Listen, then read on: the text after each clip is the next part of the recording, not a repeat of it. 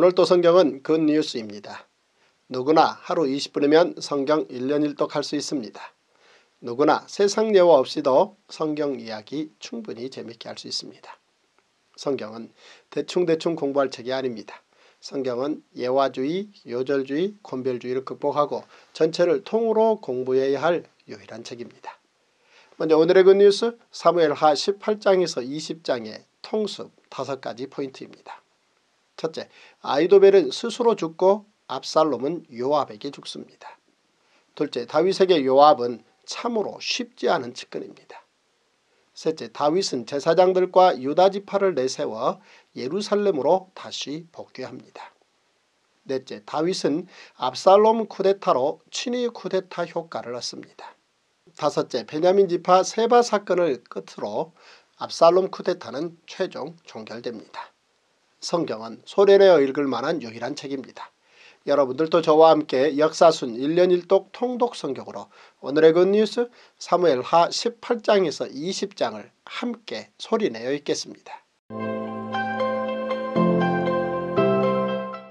제109일 사무엘 하 18장 이에 다윗이 그와 함께한 백성을 찾아가서 천부장과 백부장을 그들 위에 세우고 다윗이 그의 백성을 내보낼세. 3분의 1은 요압의 휘하에 3분의 1은 수리아의 아들 요압의 동생 아비세의 휘하에 넘기고 3분의 1은 가드 사람 이때의 휘하에 넘기고 왕이 백성에게 이르되 나도 반드시 너희와 함께 나가리라 하니. 백성들이 이르되 왕은 나가지 마소서 우리가 도망할지라도 그들은 우리에게 마음을 쓰지 아니할 터이요 우리가 절반이나 죽을지라도 우리에게 마음을 쓰지 아니할 터이라.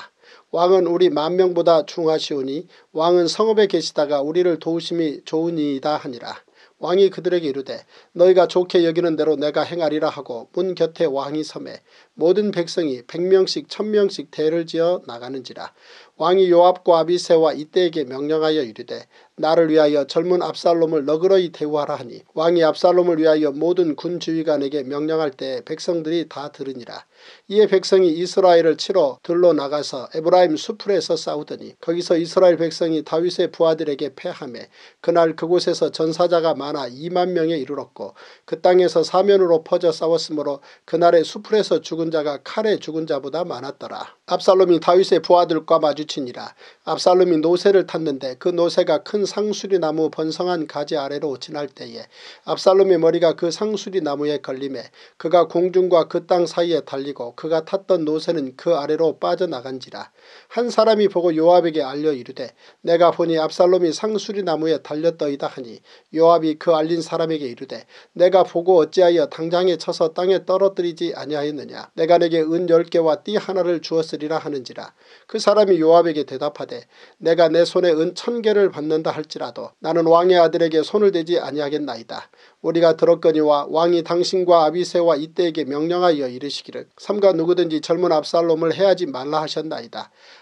아무 일도 왕 앞에는 숨길 수 없나니 내가 만일 거역하여 그의 생명을 해하였더라면 당신도 나를 대적하였으리이다 하니 요압이 이르되 나는 너와 같이 지체할 수 없다 하고 손에 작은 창 셋을 가지고 가서 상수리 나무 가운데서 아직 살아있는 압살롬의 심장을 찌르니 요압의 무기를 든 청년 10명이 압살롬을 에워싸고 쳐 죽이니라. 요압이 나팔을 불어 백성들에게 그치게 하니 그들이 이스라엘을 추격하지 아니하고 돌아오니라. 그들이 압살롬을 옮겨다가 숲을 가운데 큰 구멍에 그를 던지고 그 위에 매우 큰 돌무더기를 쌓으니라. 온 이스라엘 무리가 각기 장막으로 도망하니라. 압살롬이 살았을 때 자기를 위하여 한 비석을 마련하여 세웠으니 이는 그가 자기 이름을 전할 아들이 내게 없다고 말하였습니다라. 그러므로 자기 이름을 기념하여 그 비석에 이름을 붙였으며 그 비석이 왕의 골짜기에 있고 이제까지 그것을 압살롬의 기념비라 일컫더라. 사독의 아들 아히마아스가 이르되 청하건대 내가 빨리 왕에게 가서 여호와께서 왕의 원수 갚아주신 소식을 전하게 하소서 요압이 그에게 이르되 너는 오늘 소식을 전하는 자가 되지 말고 다른 날에 전할 것이니라. 왕의 아들이 죽었나니 내가 오늘 소식을 전하지 못하리라 하고 요압이 구수 사람에게 이르되 내가 가서 본 것을 왕께 아뢰라 하매 구수 사람이 요압에게 절하고 다름질하여 가니 사독의 아들 아히마스가 다시 요압에게 이르되 청하건대 아무쪼록 내가 또한 구수 사람의 뒤를 따라 달려가게 하소서 하니 요압이 이르되 내 아들아 너는 왜 달려가려 하느냐 이 소식으로 말미암아서는 너는 상을 받지 못하리라 하되 그가 한사코 달려가겠노라 하는지라 요압이 이르되 그리하라 하니 아이마스가 들길로 다름질하여 구수 사람보다 앞질러 가니라. 때 다윗이 두 문 사이에 앉아 있더라. 파수꾼이 성문 위층에 올라가서 눈을 들어보니 어떤 사람이 홀로 달려오는지라. 파수꾼이 외쳐 왕께 아뢰매 왕이 이르되 그가 만일 혼자면 그의 입에 소식이 있으리라 할 때에 그가 점점 가까이 오니라. 파수꾼이 본즉 한 사람이 또 달려오는지라. 파수꾼이 문지기에게 외쳐 이르되 보라 한 사람이 또 혼자 달려온다 하니 왕이 이르되 그도 소식을 가져오느니라. 파수꾼이 이르되 내가 보기에는 앞선 사람의 다름질이 사독의 아들 아이마스의 다름질과 같으니이다 하니 왕이 이르되 그는 좋은 사람이니 좋은 소식을 가져오느니라 하니라.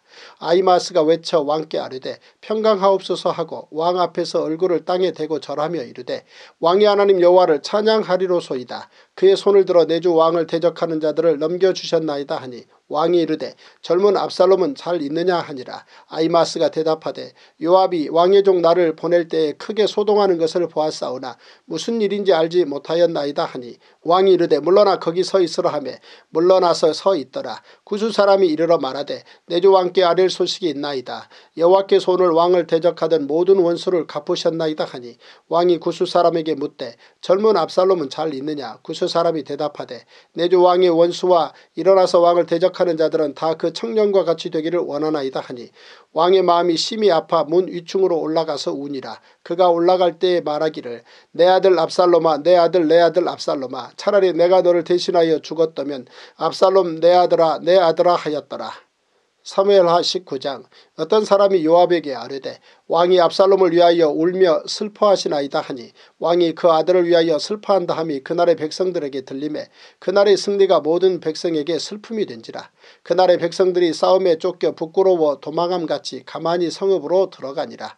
왕이 그의 얼굴을 가리고 큰 소리로 부르되 내 아들 압살롬아 압살롬아 내 아들아 내 아들아 하니 요압이 집에 들어가서 왕께 말씀드리되 왕께서 오늘 왕의 생명과 왕의 자녀의 생명과 처첩과 비빈들의 생명을 구원한 모든 부하들의 얼굴을 부끄럽게 하시니 이는 왕께서 미워하는 자는 사랑하시며 사랑하는 자는 미워하시고 오늘 주의관들과 부하들을 멸시하심을 나타내심이라. 오늘 내가 깨달으니 만일 압살롬이 살고 오늘 우리가 다 죽었다면 왕이 마땅히 여기실 뻔하였나이다. 이제 곧 일어나 나가 왕의 부하들의 마음을 위로하여 말씀하옵소서. 내가 여호와를 두고 맹세하옵나니 왕이 만일 나가지 아니하시면 오늘 밤에 한 사람도 왕과 함께 머물지 아니할지라. 그래야면 그 화가 왕이 젊었을 때부터 지금까지 당하신 모든 화보다 더욱 심하리이다 하니 왕이 일어나 성문에 앉음에 어떤 사람이 모든 백성에게 말하되 왕이 문에 앉아 계신다 하니 모든 백성이 왕 앞으로 나아오니라. 이스라엘은 이미 각기 장막으로 도망하였더라. 이스라엘 모든 지파 백성들이 변론하여 이르되 왕이 우리를 원수의 손에서 구원하여 내셨고 또 우리를 블레셋 사람들의 손에서 구원하셨으나 이제 압살롬을 피하여 그 땅에서 나가셨고 우리가 기름을 부어 우리를 다스리게 한 압살롬은 싸움에서 죽었거늘 이제 너희가 어찌하여 왕을 도로 모셔 올 일에 잠잠하고 있느냐 하니라. 다윗 왕이 사독과 아비아달 두 제사장에게 소식을 전하여 이르되 너희는 유다 장로들에게 말하여 이르기를 왕의 말씀이 온 이스라엘이 왕을 왕궁으로 도로 모셔오자 하는 말이 왕께 들렸거늘 너희는 어찌하여 왕을 궁으로 모시는 일에 나중이 되느냐?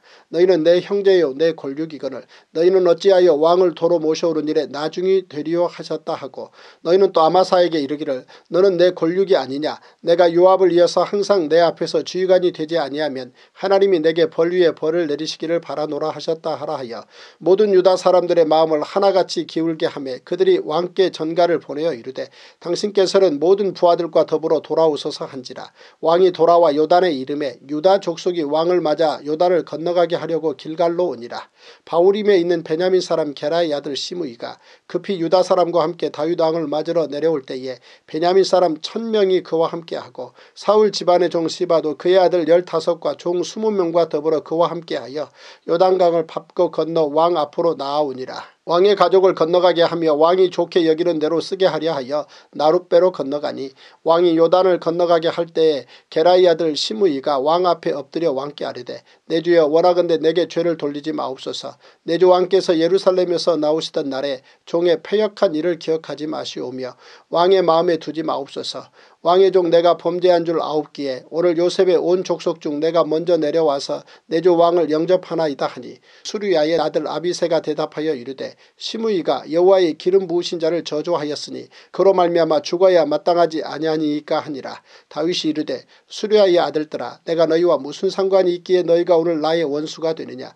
오늘 어찌하여 이스라엘 가운데에서 사람을 죽이겠느냐. 내가 오늘 이스라엘의 왕이 된 것을 내가 알지 못하리오 하고 왕이 시므이에게 이르되 내가 죽지 아니하리라 하고 그에게 맹세하니라. 사울의 손자 무비보셋이 내려와 왕을 맞으니 그는 왕이 떠난 날부터 평안히 돌아오는 날까지 그의 발을 맵시내지 아니하며 그의 수염을 깎지 아니하며 옷을 빨지 아니하였더라. 예루살렘에서 와서 왕을 맞을 때에 왕이 그에게 물어 이르되 무비보셋이여 내가 어찌하여 나와 함께 가지 아니하였더냐 하니 대답하되 내주 왕이여 왕의 종인 나는 다리를 절므로 내 나귀의 안장을 지워 그 위에 타고 왕과 함께 가려 하였더니 내 종이 나를 속이고 종인 나를 내주 왕께 모함하였나이다. 내주 왕께서는 하나님의 사자와 같으시니 왕의 처분대로 하옵소서. 내 아버지의 온 집이 내주 왕 앞에서는 다만 죽을 사람이 되지 아니하였나이까. 그러나 종을 왕의 상에서 음식 먹는 자 가운데 두셨사오니 내게 아직 무슨 공의가 있어서 다시 왕께 부르짖을 수 있사오리이까 하니라. 왕이 그에게 이르되 내가 어찌하여 또 내 일을 말하느냐? 내가 이르노니 너는 시바와 밭을 나누라 하니 무비보셋이 왕께 아뢰되 내 주 왕께서 평안히 왕궁에 돌아오시게 되었으니 그로 그 전부를 차지하게 하옵소서 하니라. 길라 사람 바르실레가 왕이 요단을 건너가게 하려고 로글림에서 내려와 함께 요단에 이르니 바르실레는 매우 늙어 나이가 80세라. 그는 큰 부자이므로 왕이 마하나임에 머물 때에 그가 왕을 공개하였더라. 왕이 바르실레에게 이르되 너는 나와 함께 건너가자. 예루살렘 예루살렘에서 내가 너를 공개하리라. 바리셀레가 왕께 아뢰되 내 생명의 날이 얼마나 있사옵겠기에 어찌 왕과 함께 예루살렘으로 올라가리이까. 내 나이가 이제 80세라. 어떻게 좁고 흉한 것을 분간할 수 있사오며 음식의 맛을 알 수 있사오리이까. 이 종이 어떻게 다시 노래하는 남자나 여인의 소리를 알아들을 수 있사오리이까. 어찌하여 종이 내 주 왕께 아직도 누를 끼치리이까. 당신의 종은 왕을 모시고 요단을 건너려는 것뿐이거늘 왕께서 어찌하여 이 같은 상으로 내게 갚으려 하시나이까. 청하건대 당신의 종을 돌려보내옵소서. 내가 내 고향 부모의 묘 곁에서 죽으려 하나이다. 그러나 왕의 종 기맘이 여기 있사오니 청하건대 그가 내 주 왕과 함께 건너 가게 하시옵고 왕의 처분대로 그에게 베푸소서 하니라. 왕이 대답하되 기맘이 나와 함께 건너가리니 나는 내가 좋아하는 대로 그에게 베풀겠고 또 내가 내게 구하는 것은 다 너를 위하여 시행하리라 하니라. 백성이 다 요단을 건너매 왕도 건너가서 왕이 바르실레에게 입을 맞추고 그에게 복을 비니 그가 자기 곳으로 돌아가니라. 왕이 길갈로 건너오고 기맘도 함께 건너오니 온 유다 백성과 이스라엘 백성의 절반이나 왕과 함께 건너니라. 온 이스라엘 사람이 왕께 나와 왕께 아뢰되 우리 형제 유다 사람들이 어찌 왕을 도둑하여 왕과 왕의 지방과 왕을 따르는 모든 사람을 인도하여 요단을 건너가게 하였나이까 하매 모든 유다 사람이 이스라엘 사람에게 대답하되 왕은 우리의 종친인 까닭이라 너희가 어찌 이 일에 대하여 분내느냐? 우리가 왕의 것을 조금이라도 얻어먹었느냐? 왕께서 우리에게 선물로 주신 것이 있느냐? 이스라엘 사람이 유다 사람에게 대답하여 이르되 우리는 왕에 대하여 열 몫을 가졌으니 다윗에게 대하여 너희보다 더욱 관계가 있거늘 너희가 어찌 우리를 멸시하여 우리 왕을 모셔오는 일에 먼저 우리와 의논하지 아니하였느냐 있느냐 하나 유다 사람의 말이 이스라엘 사람의 말보다 더 강경하였더라. 사무엘라 20장 마침 거기에 불량배 하나가 있으니 그의 이름은 세바인데 베냐민 사람 비그리의 아들이었더라. 그가 나팔을 불며 이르되 우리는 다윗과 나를 분깃이 없으며 이 세 아들에게서 받을 유산이 우리에게 없도다. 이스라엘아 각각 장막으로 돌아가라 하며 이에 온 이스라엘 사람들이 다윗 따르기를 그치고 올라가 비그리의 아들 세바를 따르나 유다 사람들은 그들의 왕과 합하여 요단에서 예루살렘까지 따르니라. 다윗이 예루살렘 본궁에 이르러 전에 머물러 왕국을 지키게 한 후궁 10명을 잡아 별실 실에 가두고 먹을 것만 주고 그들에게 관계하지 아니하니 그들이 죽는 날까지 갇혀서 생갑으로 지내니라.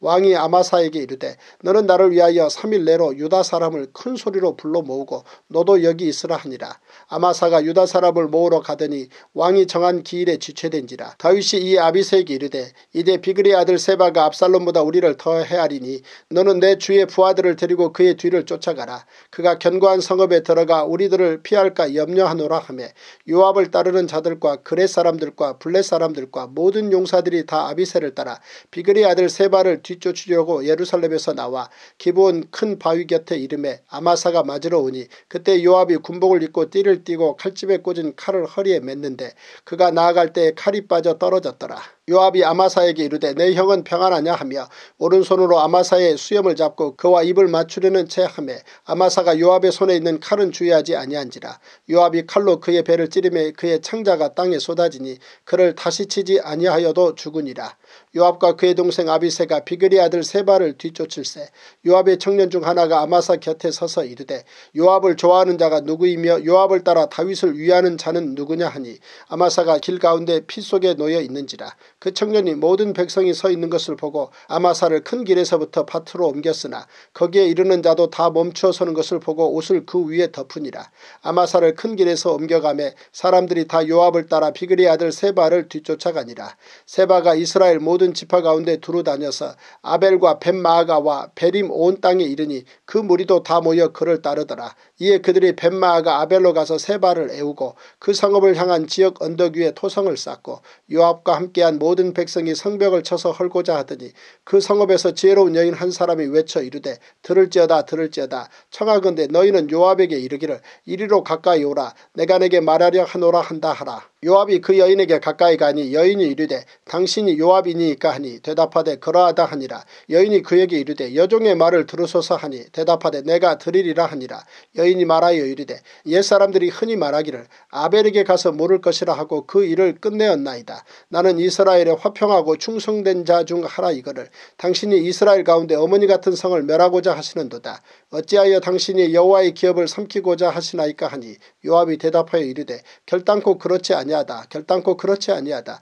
삼키거나 멸하거나 하려 함이 아니니 그 일이 그러한 것이 아니니라. 에브라임 산지 사람 비그리 아들 그의 이름을 세바라 하는 자가 손을 들어 왕 다윗 을 대적하였나니 너희가 그만 내주면 내가 이 성벽에서 떠나가리라 하니라. 여인이 요압에게 이르되 그의 머리를 성벽에서 당신에게 내어 던지리이다 하고 이에 여인이 그의 지혜를 가지고 모든 백성에게 나아가매 그들이 비그리 아들 세바의 머리를 베어 요압에게 던진지라. 이에 요압이 나팔을 불매 무리가 흩어져 성읍에서 물러나 각기 장막으로 돌아가고 요압은 예루살렘으로 돌아와 왕에게 나아가니라 요압은 이스라엘 온 군대의 주의관이 되고 여호야다의 아들 분하야는 그렛 사람과 블렛 사람의 주의관이 되고 아도람은 감역관이 되고 아힐루스의 아들 여우사밧은 사관이 되고 스와는 서기관이 되고 사독과 아비아달은 제사장이 되고 야일 사람 이라는 다윗의 대신이 되니라. 오늘 우리는 사무엘하 18장에서 20장을 함께 읽었습니다. 마침내 압살롬의 쿠데타가 진압되고 예루살렘으로 돌아가게 되자 가장 먼저 기회주의자 시므이가 천명의 베냐민 지파 사람들과 함께 다윗에게 무릎 꿇기 위해 기다리고 있었습니다. 이들은 일찍이 사울 정권에 있던 자들로 다윗 정권 물밑에서 30여 년간 숨어서 다윗을 흔들고 괴롭혔던 반체제 인사들이었습니다.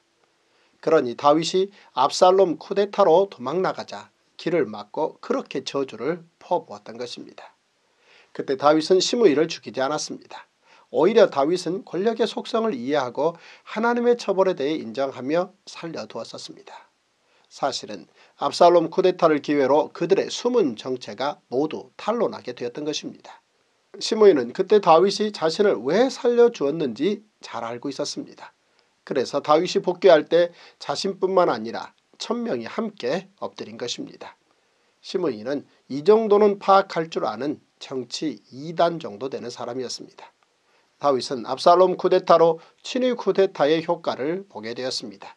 이것이 시므이의 저주를 넘어서 하나님께서 주신 복이었습니다. 만약 그때 시므이와 반체제 세력들이 드러나지 않았다면 이후 솔로몬 정권 초반은 결코 쉽지 않았을 것입니다. 다윗은 늘 권력은 하나님께서 주시지 않으면 얼마든지 다른 사람에게로 변동될 수 있다고 생각했던 사람입니다. 이렇게 권력의 변동성에 대해 열린 생각을 가지고 있던 다윗에게 하나님께서는 다윗 가문에게 권력의 계승성을 주신 것입니다. 쿠데타를 겪는 환란 중에서도 하나님의 사람 다윗이 보여준 제사장 나라 거룩한 시민의 품위 있는 정치였습니다. 모든 성경은 하나님의 감동으로 된 것으로 교훈과 책망과 바르게함과 의로 교육하기에 유익합니다. 성경 한 권이면 충분합니다. 그러므로 오늘 또 세상 뉴스를 넘어 good news 성경으로 행복하시고 good news 성경으로 승리하시는 멋진 하루 되십시오. 와우!